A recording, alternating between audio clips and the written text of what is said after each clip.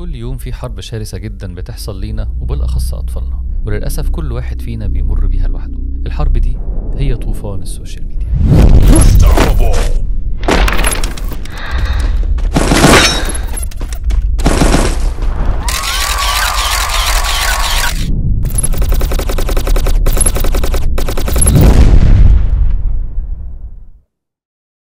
بسم الله والحمد لله والصلاة والسلام على رسول الله صلى الله عليه وسلم. موضوع أفلام الكرتون والألعاب أكبر بكتير من إن هو يتوجد ليهم بديل يحل محلهم بالكلية.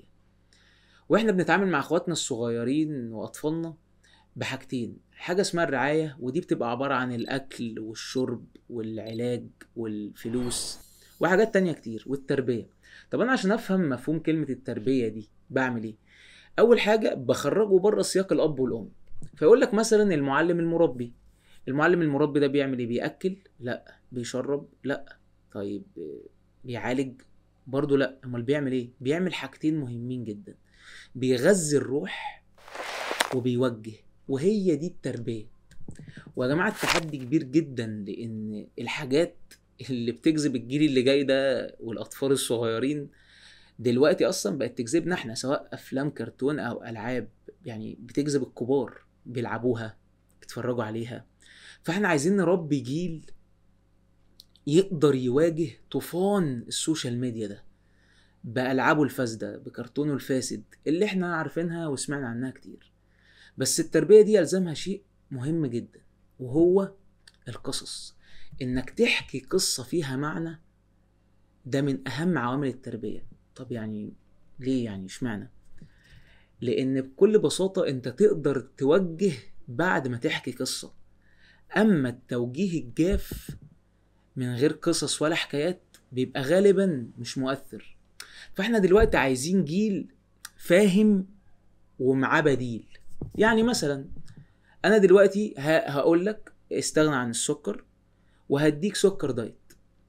بس لازم قبل ما أعمل كده أو وأنا بعمل كده أقول لك خطر السكر ده. لأن بكل بساطة أنا بقول لك استغنى عن حاجة حلوة. فلازم أفهمه الأول خطرها. فبعد ما يفهم خطرها يسهل عليه إن هو يسيبها. يعني أنا هفهمه خطرها لأن بكل بساطة الأفلام بتاعت الكرتون دي حاجة حلوة بالنسبة له والألعاب دي حاجة حلوة. فأنا بقول له دلوقتي يسيبها. فلازم أعمل إيه؟ أفهمه الضرر زائد إن أنا أوجد له بديل حلو زيه. طب إحنا عندنا حاجة تانية اسمها آه، تغذية الجسد.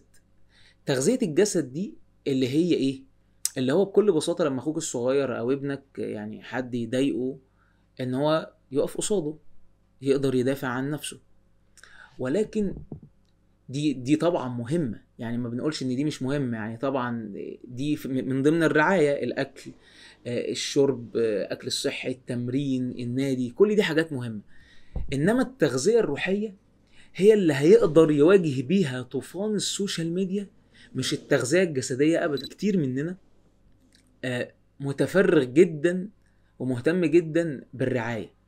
لكن مش كتير مننا متفرغ للتربية مش كتير مننا متفرغ إن هو يحكي لاولاده قصص مش كتير مننا متفرغ إن هو يقعد مع اخواته ويحكي لهم قصص عن الناجحين كتير كتير كتير. لما بنحكي لهم قصص عن الناجحين بكل بساطة إيه اللي بيحصل؟ بيرغبوا في النجاح. فإحنا دلوقتي عندنا ناس قعدوا وفكروا وشافوا إن في دور على الأسرة اللي إحنا عمالين نتكلم فيه ده ومجهود طبعا بيتبذل في التربية. وفي دور تاني في وسائل الترفيه المطروحة. فطلعوا لينا حاجة جميلة جدا application اسمه جيل. application جيل فيه تقريبا كل البدائل اللي إحنا عمالين نتكلم عنها. يعني application عشان يتعمل يعني سبع سنين أو أكتر هم شغالين عليه. وطبعا ناس مختصة في التربية ويعني مؤسسة كاملة. فال application ده بكل بساطة آه، في كل اللي إحنا كنا لسه بنقوله. قصص حكايات أناشيد راديو آه، كرتون ترفيهي. كرتون تعليمي. يعني ورا كل قصة أو ورا كل كرتون أو ورا كل حاجة في ال application بيقدم قيمة بيقدم حاجة أخلاقية حاجة سلوكية بيحتاجها الطفل من 3 سنين لحد 9 سنين. وهم دلوقتي شغالين على من 10 سنين لحد 15 سنة.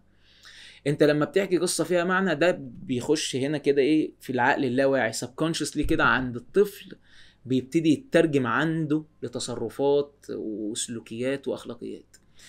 فاحنا دلوقتي بكل بساطة ابلكيشن جيل ده بيعمل إيه؟ هو بيعينك وانت بتربي على توفير بيئة آمنة لأطفالك أو أخواتك الصغيرين. يعني انت دلوقتي بتتعب وبتجتهد وزي ما بنقول بيتنبح صوتك في التربية. طب هو دلوقتي قاعد لوحده مع التليفون إيه اللي يحصل؟ يضيع بقى كل مجهودي بفيديو بمشهد ب...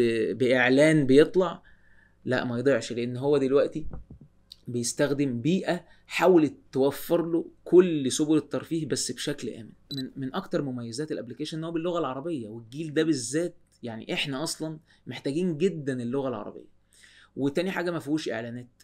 وده شيء طبعا يعني مهم جدا لأن اللي متابع ال market عارف الإعلانات دي بتظهر إزاي وبتظهر لمين وهم عارفين هم بيعملوا إيه كويس. فهو ما فيهوش الحمد لله إعلانات. ال application فيه أكتر من 20 مسلسل بيزيدوا يوم عن يوم. هدفهم إنشاء جيل يعني عنده قيم ومبادئ وفي الأول وفي الآخر توفير بيئه امنه لإخواتنا الصغيرين وأطفالنا عشان تعبنا معاهم ما يروحش هدر ومجهودنا ما يروحش هدر ال application تقدروا تحملوه تحت في ال description وهو مدفوع الأجر والصراحة حاجة زي دي في وسط يعني إحنا بنشوف الناس دافعة قد إيه يعني الطوفان اللي جاي علينا ده مصروف عليه قد إيه. فحاجة زي دي الصراحة تستحق إن هي تكون مدفوعة الأجر وتستحق إن هي تدعم وال application أنا يعني استخدمته فترة. في حاجة جميلة جدا إن هو مثلا ممكن يبعت لك إيه لو أنت نسيت تحكي قصة لأخوك مثلا الصغير أو أو ابنك يقوم باعت لك إيه إشعار إن أنت نسيت تحكي قصة فتقوم مختار قصة وتحكيها له. وفي عروض دلوقتي هم عاملينها على الاشتراكات السنوية. هسيب لكم ال link تحت في ال description إن شاء الله. وجزاكم الله خير. السلام عليكم.